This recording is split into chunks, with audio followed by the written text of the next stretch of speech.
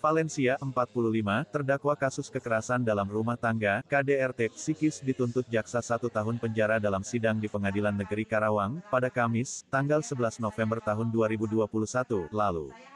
Jaksa menuntut terdakwa Valencia melanggar pasal 45 ayat 1 junto pasal 5 huruf Undang-Undang Nomor 23 Tahun 2004 tentang penghapusan kekerasan dalam rumah tangga.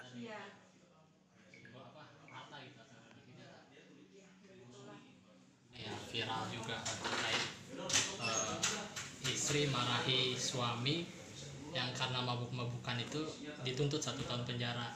Ibu sebagai terdakwanya waktu itu eh, di persidangan ibu sempat eh, menangis ya. Itu gimana bu? Ceritanya? Ya, nggak nyangka aja. Sampai dituntut sampai satu tahun. Hmm, Bukan nangis lagi, kalau bisa tuh udah pingsan kemarin. Ya nggak nyangka aja. Jadi kalau udah dituntut gitu saya harus gimana, ya kan? Sedangkan kan saya ibu tunggal ya, jadi bingung. Di rumah ada orang tua umur 80 tahun, anak dua, satu sakit. hmm. Saya benar-benar bingung harus gimana. ini tas ketika pas nangis itu ibu atau gimana tuh Oh, Spontan ya udah selama 20 apa, Dua tahun, dua 20. bulan. Hmm. itu kan pernikahan udah berapa lama bu dan Selama terus selama 20 pernikahan tahun. seperti apa peri- apa eh, eh, suami ke ibu itu ya intinya dia ya suka minum suka judi ya. kalau mau diceritakan panjang sekali panjang sekali Iya. itu bermula dari awal tahun 2000 saya menikah ke sana saya panjang sekali ya kalau itu pas tahu ketika dilaporkan eh, ibu tentang KRT, KDRT psikis itu eh, apa sih maksudnya das- dasarnya? Dia dari rekaman apa atau seperti apa gitu? Saya melaporkan saya diintimidasi dengan pengacara ya diintimidasi waktu itu pengacaranya ada ke rumah intimidasi ada alasannya gitu ya sebenarnya pertengkaran ini juga pertengkaran umum seperti keluarga lain lah ya mau pertengkaran umum biasa Iya. sebenarnya pak ya Iya, cuman saya tidak kuatnya setelah saya gugat dia cerai. Ya, saya diintimidasi dengan berbagai laporan. Ya seperti tadi saya bilang dua tahun dua bulan dan sampai finishnya kemarin yang KDRT saya diputus satu tahun dengan bukti-bukti yang tidak masuk akal.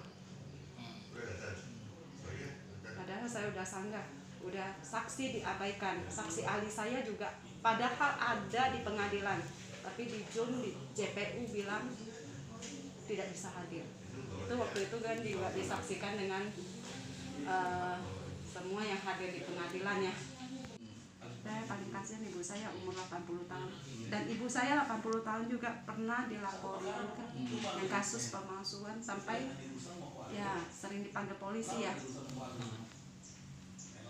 Kan sempat di video yang kemarin viral itu mengingatkan ada apa istri-istri lain atau ibu-ibu lain dan hati-hati buat marahin istri itu apa bu pesan yang Ya kan, disampaikan dari yang ibu alami gitu Soal gugatannya juga bilang saya memaki-maki dia.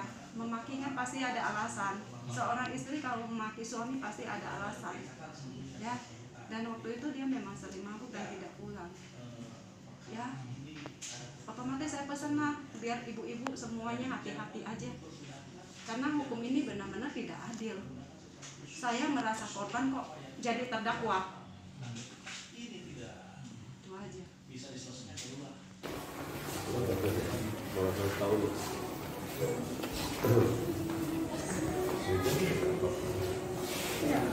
Kalau saya tahu nggak apa-apa, nggak apa-apa, nggak apa-apa, rame gitu. Dua dua tuntutan. Iya. Saksi-saksi kita diabaikan, Iya. semuanya diabaikan. Ya viral aja pak. Suami mabuk-mabukan, dimarah, malah dipidanakan.